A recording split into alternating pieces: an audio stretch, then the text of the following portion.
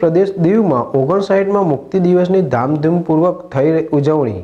Padma Bhushan complex ખાતે તિરંગો ફરકાવી મુક્તિ દિવસની કરાઈ ઉજવણી સાથે દીવ ફેસ્ટિવલનું થયો શુભારંભ.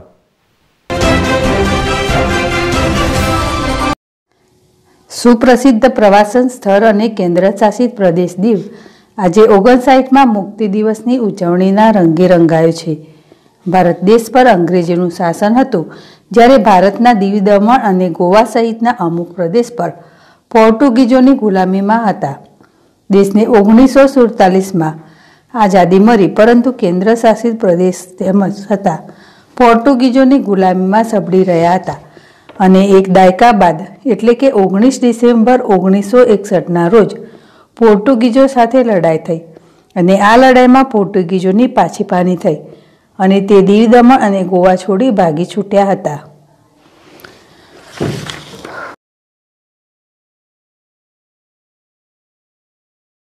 दमन और दीव के उनसठवें मुक्ति दिवस पर दमन और दीव के नागरिकों को हमारी तरफ से बहुत बहुत शुभकामनाएं आज का प्रोग्राम अ, हमने ऑफिशियल प्रोग्राम से अ, स्टार्ट किया था और ઓગણીસ ડિસેમ્બર ઓગણીસો એકસઠનો દિવસ દમણ દીવ માટે યાદગાર દિવસ બની ગયો અને આજે દીવ દમણની આઝાદીને છ દાયકા એટલે કે ઓગણસાઠ વર્ષ વીતી ચૂક્યા છે. દીવવાસીઓએ આજના દિવસે સ્પોર્ટ્સ ગ્રાઉન્ડ ખાતે રંગારંગ કાર્યક્રમ યોજી તિરંગો ફરકાવી અને આઝાદીનો જશ્ન મનાવ્યો.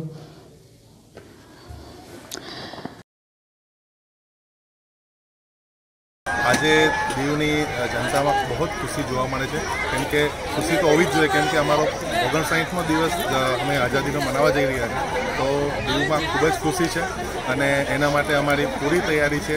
આજથી અમે જે છે એ અમારો ફેસ્ટિવલ ઓપન કર્યો છે અને એના માટે બે દિવસનો અમે પ્રોગ્રામ જે છે એ ગોગલા જેટી ઉપર જે છે આજે ગુજરાતી ડાયરો છે અને કાલે જે છે એ હિન્દી કલાકારો આવી અને લોકોને મનોરંજન કરાવશે. તમે દીવમાં જોશો તો રાતના પૂરી રોશની છે, પૂરું દીવ છે, એને પૂરી લાઇટિંગથી સજાવી દીધેલું છે. અને હરેક પબ્લિકમાં જે છે એ આઝાદીના દિવસને લઈ અને એનામાં ઉમંગ જોવા મળે છે.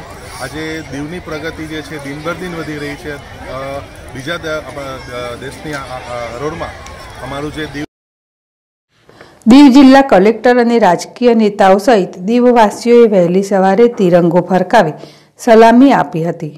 ઉલ્લેખનીય છે કે પંદરમી ઓગસ્ટ છવ્વીસમી જાન્યુઆરીના દિવસે દેશભરમાં તિરંગો ફરકાવાય છે.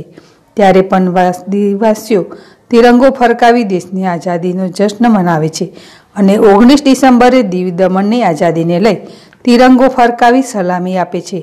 આમ એક વર્ષમાં ત્રણ વખત તિરંગો ફરકાવવામાં આવે છે. આ વર્ષે દીવ ફેસ્ટિવલ અંતર્ગત બે દિવસનો કાર્યક્રમ આયોજિત કરવામાં આવે છે, જેમાં દિવસ દરમિયાન દોરડા ખેંચ, વોલીબોલ, ટુર્નામેન્ટ જેવી અનેક સ્પર્ધાઓ યોજાય અને રાત્રે ગુજરાતી ગાયક કલાકાર ગીતા રબારી, વિજય સુંવારા જેવા નામી કલાકારો દ્વારા ગોગલા જેટી ખાતે મેગા ઇવેન્ટ થશે. જ્યારે આવતીકાલે મહેંદી સ્પર્ધા, તરણ સ્પર્ધા, બોટ સ્પર્ધા, વાનગી સ્પર્ધા વગેરે સ્પર્ધાઓ યોજાશે અને મેગા ઇવેન્ટમાં કંડિકા કપૂર સહિતના કલાકારો પરફોર્મન્સ કરશે. સુંદર અને રમણીય દીવ આજે વિશ્વભરમાં કુદરતી સૌંદર્ય માટે પ્રખ્યાત છે.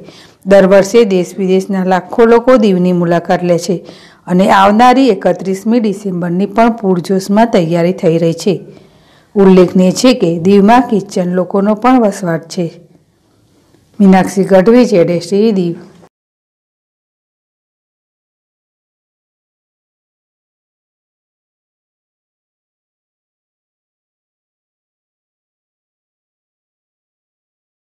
આઝાદીના લડવૈયા ગુજરાત સરકારના અમે જાહેર કરેલા ફ્રીડમ ફાઇટરો છીએ.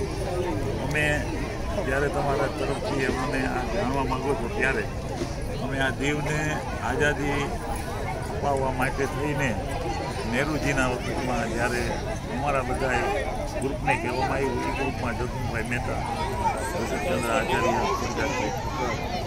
ત્યારે આ સત્યાગ્રહ માટે થઈને આગ્રહ કરવામાં આવ્યો ત્યારે અમે સત્યાગ્રહ શરૂ કર્યો.